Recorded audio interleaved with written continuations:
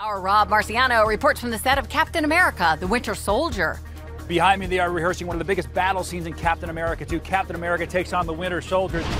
Hi, everybody. I'm Nancy O'Dell, and ET is taking you behind the scenes.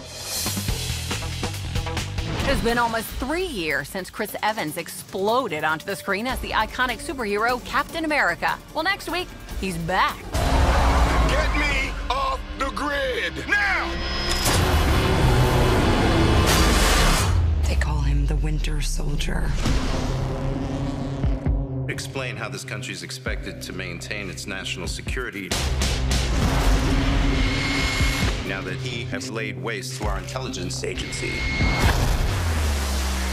The price of freedom is high, and it's a price I'm willing to pay.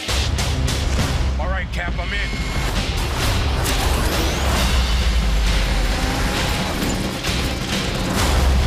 The world is a vulnerable place. But we're the best qualified to defend it.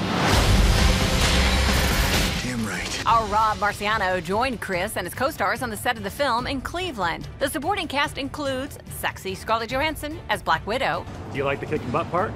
Yeah, I don't mind it. It's fun. and Anthony Mackie joins the team as the Falcon. What's it like being a superhero?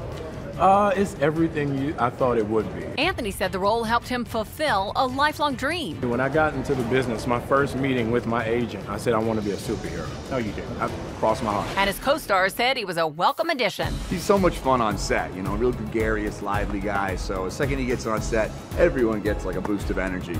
And he's a phenomenal actor too, that helps. Yeah, I saw him kind of busting some chops with the crew. Yeah. He seems like, is, would you consider him the big uh, jokester on the set? Yeah, he's like, uh, I mean, he, he's like the team mascot. He just kind of gets everyone pumped up and gives everyone, everyone. The second he comes on set, he's just joking with everybody and he knows everyone's name. And I, I envy his energy.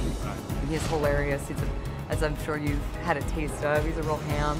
He is, uh, So- he is charming. he, he seems to be kind of the, the jokester on staff. Yeah, he's he is ridiculous. He's always got something to say about everything. Captain America, the Winter Soldier hits theaters next Friday.